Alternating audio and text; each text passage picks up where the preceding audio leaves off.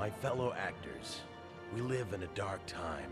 The world is becoming more and more violent, and the idiots in charge are making it worse. What the world needs is an international advisory committee who truly understands global politics, namely, us. The time has come for us to start using our acting talents in a different way. Yes, we can use our powers to change the world. We will persuade everyone to drive hybrid cars and stop smoking. If we focus our acting on global politics, we can change everything and stuff. As actors, it is our responsibility to read the newspapers and then say what we read on television like it's our own opinion. Matt Damon. We've all done action films. If anyone tries to get in our way, we'll show them just how tough us actors really are.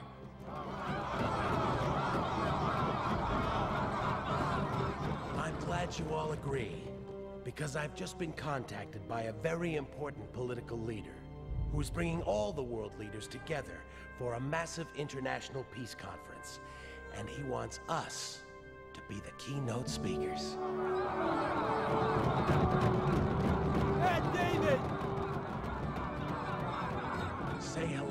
to our new partner.